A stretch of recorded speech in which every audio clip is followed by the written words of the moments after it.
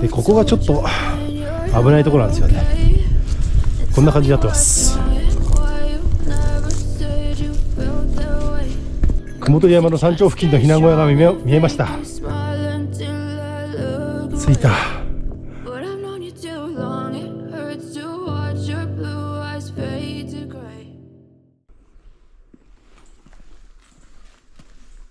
皆さんこんにちは今日は雲取山に来てますえあの東京生まれ育ちの僕としてはあの雲取山が、まあ、一番親しみのある百名山の一つかなと勝手に思ってるんですけど。で毎年1年に何回かは来るんですけど2024年はこの4月になって、えー今年初めてですね。はい。あのよく慣れ親しんでいる雲取山なんでまたあのえー行くのが楽しみですけど、はい、でいつもと同じようにあの、えー、とあのこの小袖の登山口スタートしてで七津石小屋に行ってそれで雲取山に行ってで同じ道をこうピストンしてくるして帰ってくるみたいなそんな感じで行きますんで。今日はあの娘の双葉と一緒です。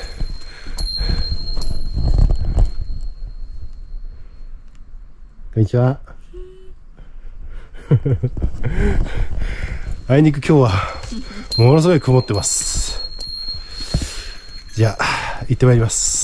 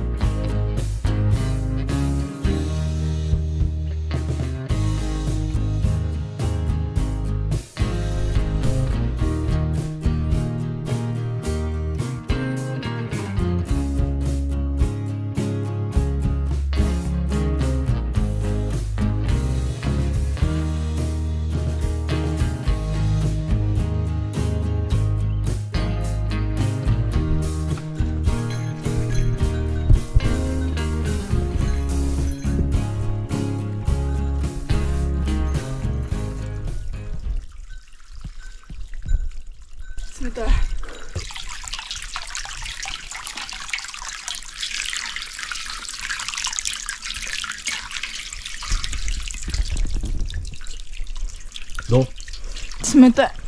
冷たい冷たい。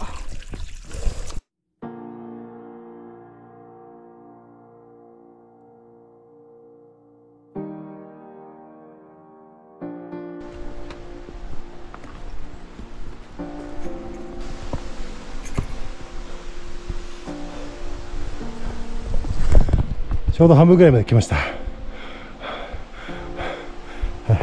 今スタートからだいたい1時間半。なかなかいいペースですね。じゃあこのまま引き続き登り続けます。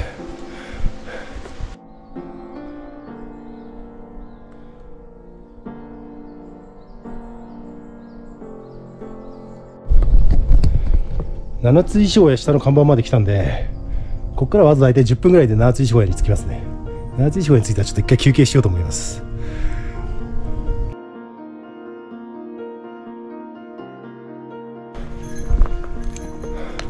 あ見えた。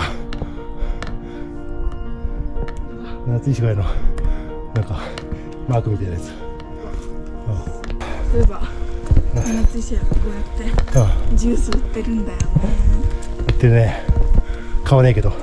一旦見てみよいや買わねえけど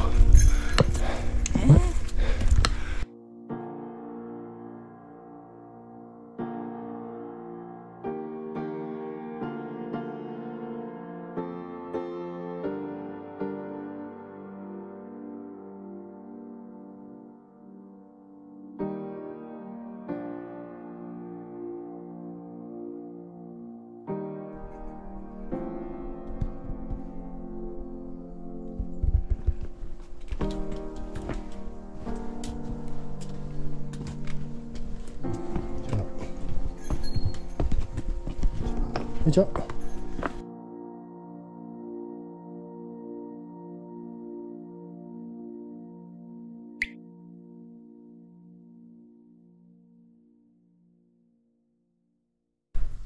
いるじゃん猫、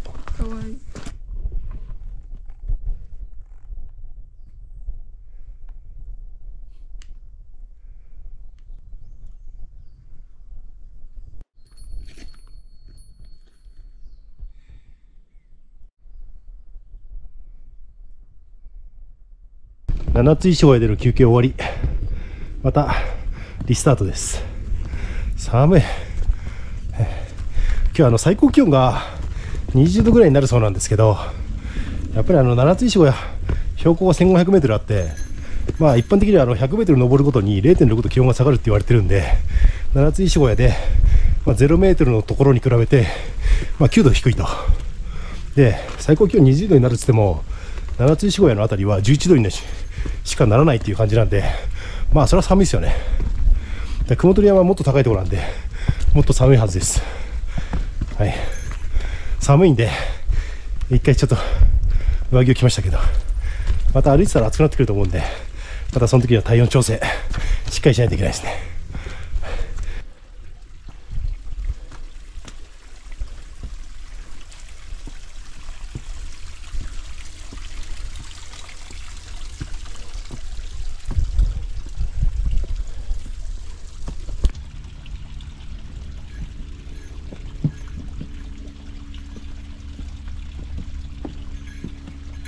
七ツ石山には行かず船坂を経由して七ツ石山を巻いていきたいと思います。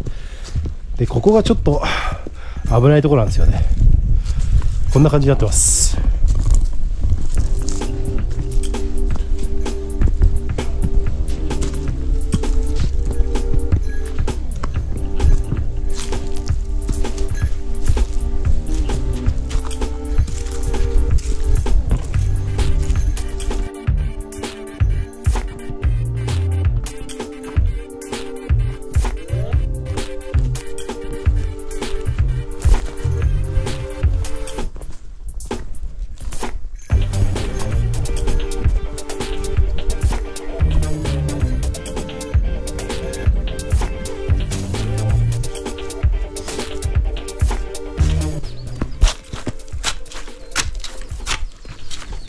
雪だ。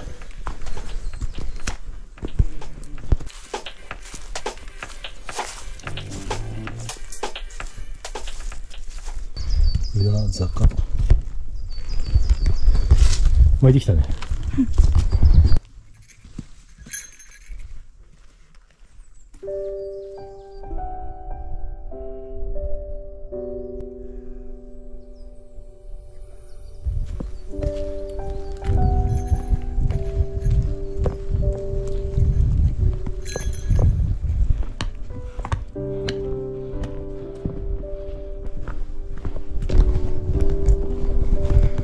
と分かりづらいかもしれない知れないですけどこれヘリポートです。遭難だとか山火事だとかあった時にヘリコプター使う時のヘリポートだそうですね。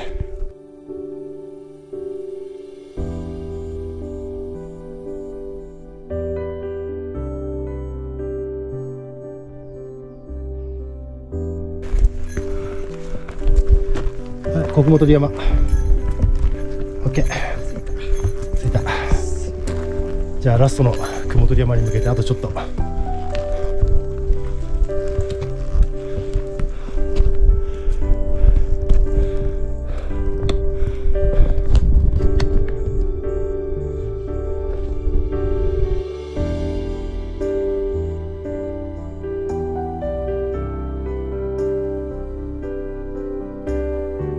雲取山の山頂付近の避難小屋が見え見えました。あとちょっと。30分以内であそこまで着くな。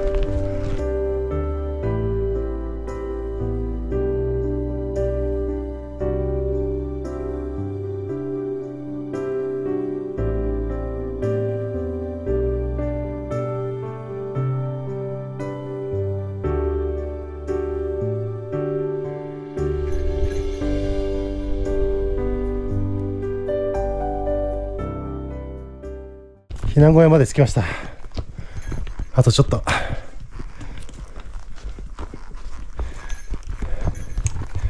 こから大体50メートルぐらいですね。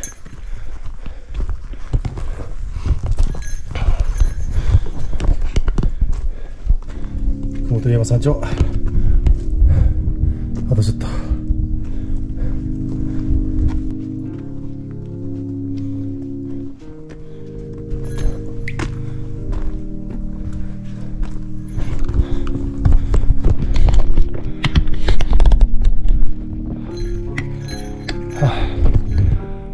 着いた、はあ、あれ。着きました。そ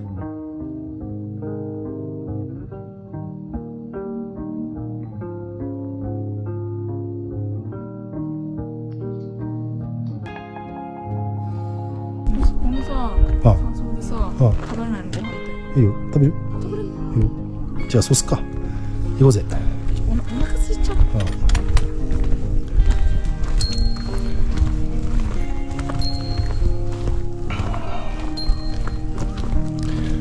どうもお疲れ様でした。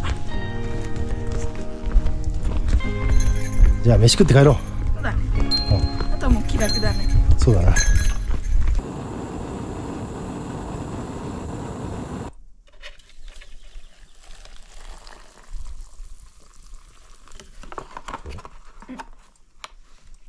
3分ね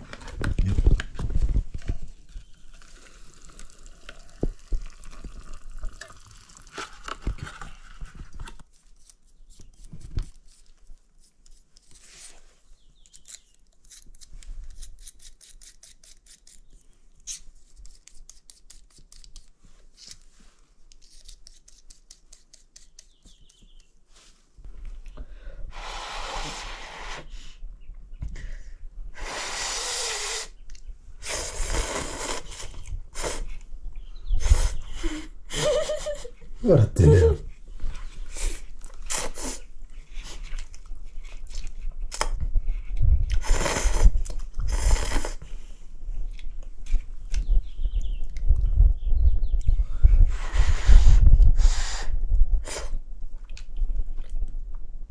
うまい。お昼ご飯も食べ終わりましたんでこれから下山します。なんかあのだんだん晴れてきたんであの下山すればするほどどんどんどんどん暖かくなっていくと思いますんで。今はね10度しかないんでちょっと寒いですね。山頂は。じゃあ下山します。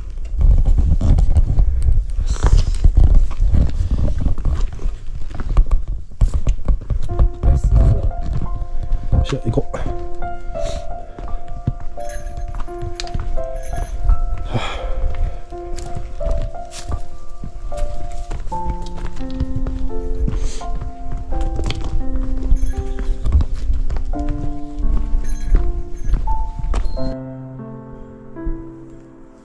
拶してたの。無事に帰ってきましたって。そうか。無事に帰ってこれたね。あと1 1キロ。あとちょっとだ。頑張ろう